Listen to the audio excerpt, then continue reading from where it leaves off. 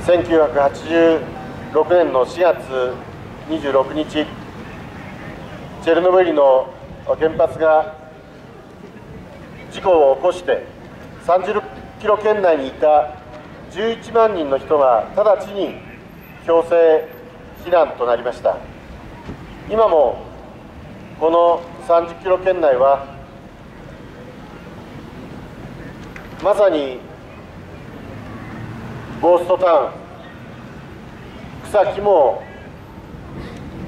生えないような。そしてかつてあった住宅は土の中に埋められ。そしてチェルノブイリの原発そのものは石棺に覆われていたわけですがしかしこの30年の歳月の中でこの石棺も風化し始めています。放射能の汚染から汚染を止めるために今はその石棺の上にさらにシェルターをかける工事が行われています。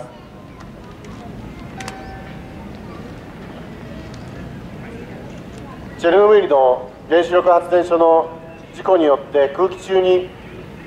放出された放射能。例えばセシウム137は半減期がちょうど30年です。1986年の4月26日に爆発をしてそして大量のセシウム137が空気中に放出をされた。それから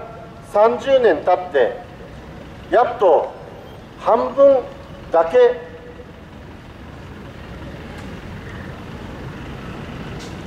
セシウム137が減ったわけであります。これからもう30年して4分の1になりそしてまたもう30年して8分の1になる。つまり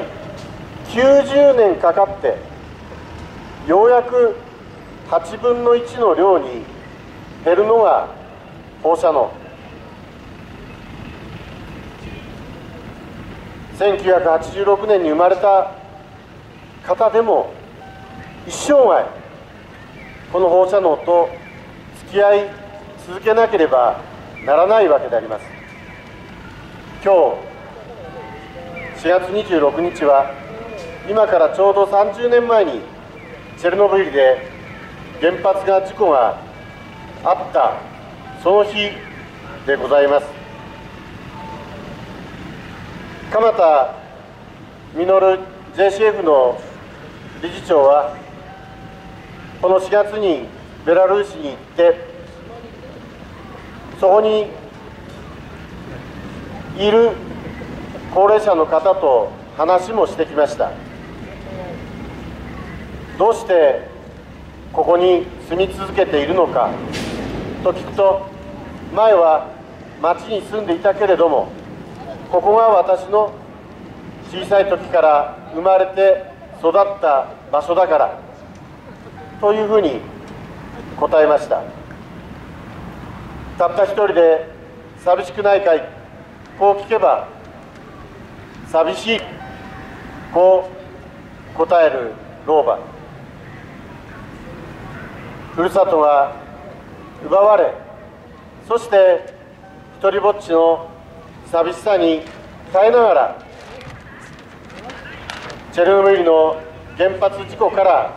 30年目の今を生きている高齢者の皆さんがいる。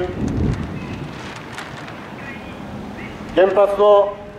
事故さえなければふるさとを失うこともなかった。原発の事故さえなければ一人寂しく暮らすこともなかった。ベラルーシでは年間5ミリシーベルト以下の地域においては選択権があります。ここに住み続けるのかあるいは移住するのか。5ミリシーベルト以上は当然強制避難地域です。この30年間ベラルーシは子どもたちの健康診断をやり続けてきました。甲状腺がんの検査をして少しでも異常があれば直ちに適切な処置をすれば95%以上の子どもたちの命は助かっています。そこで食べるものについても政府が責任を持って放射能に汚染をされていない安心安全な食べ物を届け続けてきました。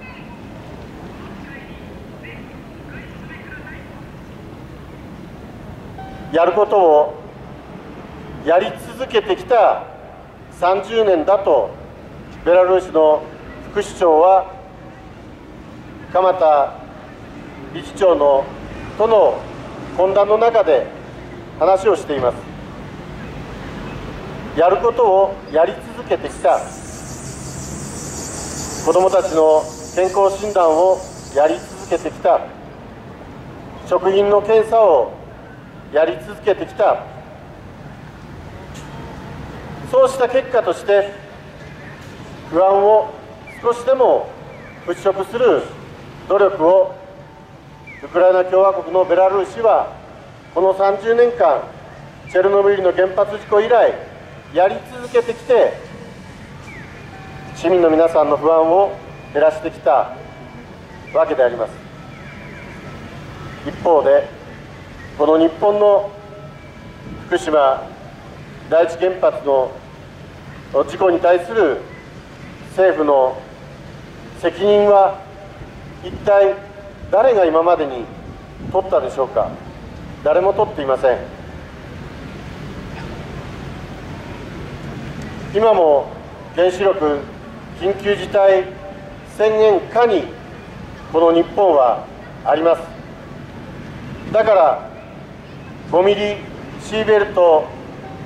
以上あるような場所にも子どもたちが生活をしている。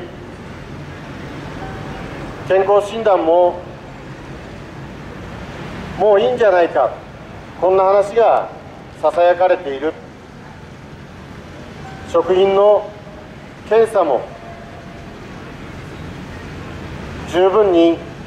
行われなくなってくる。みんなが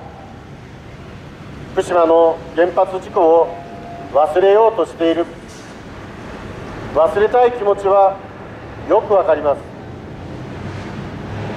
福島の原発の事故がなければ家族がバラバラに生きていくことはなかったはずです。放射能に日々怯えながら生きていく毎日もなかったはずです。ベラルーシにおいては先ほども申し上げましたように国や行政が責任を持ってこの30年間健康診断をし食品の検査をし続けてきた。だから不安を払拭する。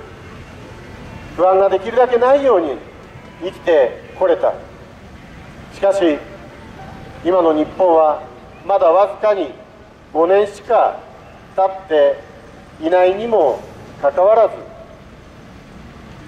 あたかも原発の事故がなかったかのように行政も